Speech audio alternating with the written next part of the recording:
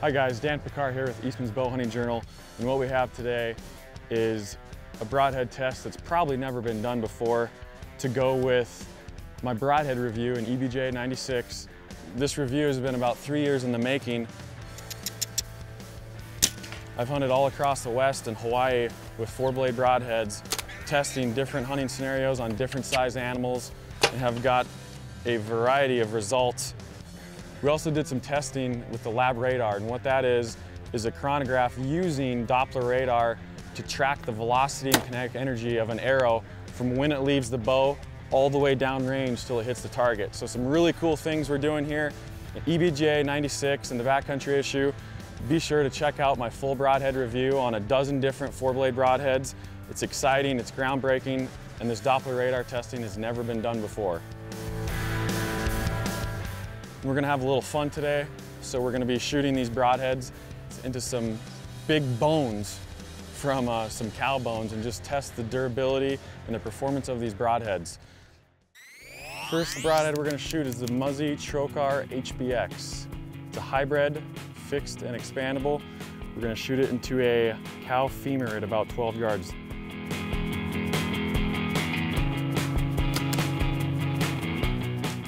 So the first hit was a glancing blow right off the joint. I mean, that's hard bone right there. Looks like it's in perfect shape still. You know, spins good too. Beef scapula, Grim Reaper carnivore, here we go.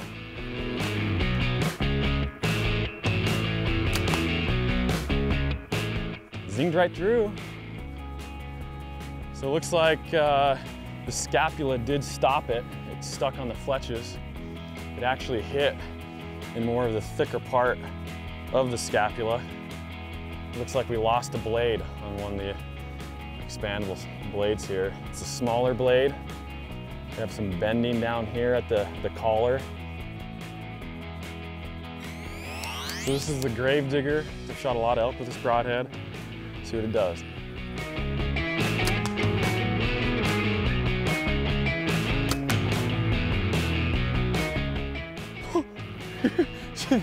arrow blew up.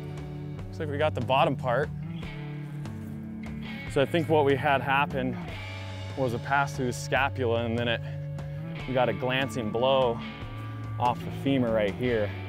See, it took a big chunk out of the bone. Stuck into the backstop. It's actually in really good shape still. One slight blemish on the one expandable blade, but the trocar part looks really good actually. So it's a little bent, which is kind of to be expected. This is really hard bone. Took a gouge out, but didn't stick in.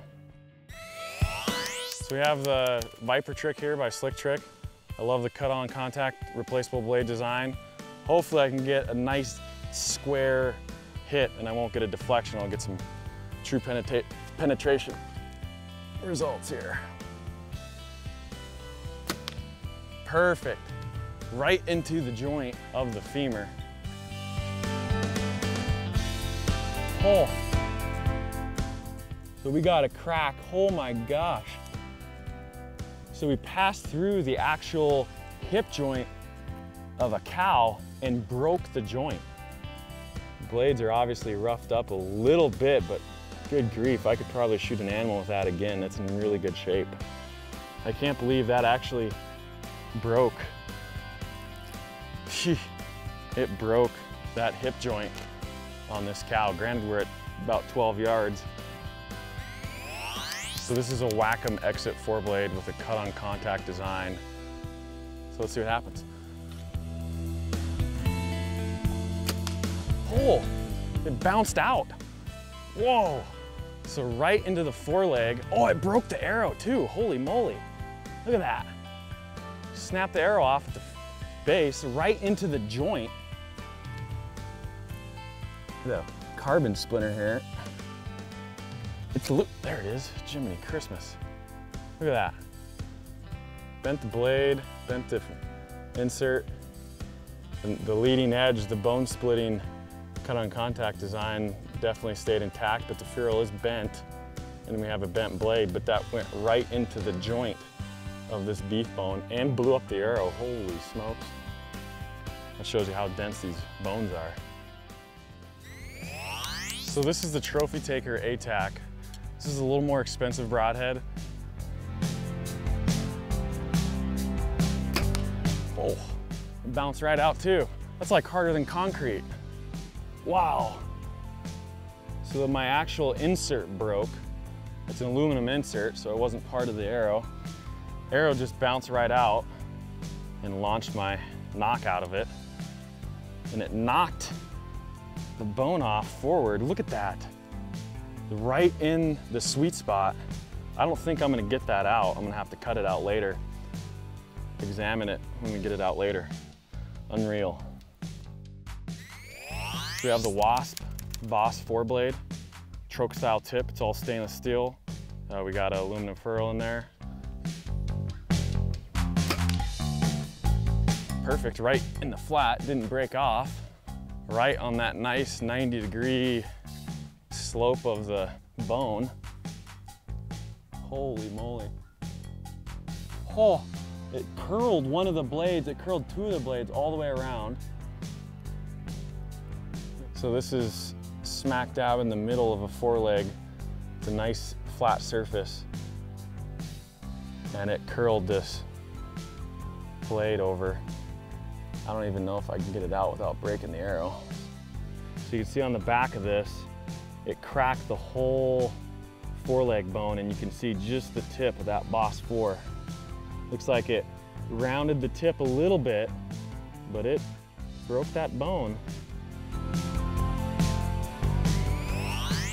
We have the Slick Trick. This has been around a long time. I shot it when it first came out, somewhere around 04 or 2005. It's been a good performer, so let's see how it does on this big old thick cow foreleg here. Right, dead center, looks like it's stuck in. Arrow didn't blow up. Kind of spun the bone around. Oh wow, penetration is way in there. I can't even see the broadhead. You can see the tip sticking through right here. It's kind of loose. I bet I can wiggle it out of there, but really good penetration for this foreleg. Well, we shot a variety of broadheads today and a variety of different bone thicknesses. And you can see through the scapulas, we punched some nice holes. In the foreleg here, we had a lot of broadheads that stuck in. We had a chance to dig out these three broadheads out of that beef cow foreleg and uh, we have some varied results, so let's take a look. The Wasp Boss 4 blade here, you can see two of the blades curled up, and what happened is where the curled blades hit, the bone didn't break, and then on a horizontal plane where these blades stayed straight, the bone actually split. So that impact from this arrow split that foreleg. You can see the tip is just a little dinged, but other than that, it's straight. The ferrule looks good. You know, it's not, not in terrible shape the ATAC, you can see it held together really well, that initial bone splitting piece of steel. And you have the main insertable blade, which was compromised a little bit. Look down on this leading edge here, where it's really thin. It's really sharp, but it's really thin. And it kind of divoted that out and it broke off the tip on the one side. So some pretty cool results we're getting here on that cow foreleg. Really dense bone, some of the toughest material that you're ever gonna shoot a broadhead into but it, it held together fairly well. Lastly, we have the Slick Trick Standard. The one-piece steel design actually did phenomenal. This ferrule's still perfectly straight. It spun really well. And look at that point, it's still nice and sharp. So that was pretty cool to see that. One of the blades was bent and actually broke on the back end. The rest of the blades were bent slightly, but those thick blades are pretty, pretty tough. The Slick Trick Standard held up really well. Hopefully this gave you an idea of what we did in this broadhead review in EBJ 96. Be sure to get your issue and we'll see you next time right here from Eastmans' Gear Lab. Kind of sloppy. Extra sloppy. You're scaring us, lady. Name that movie. Uh, oh, oh, Billy Madison. Yes, yes.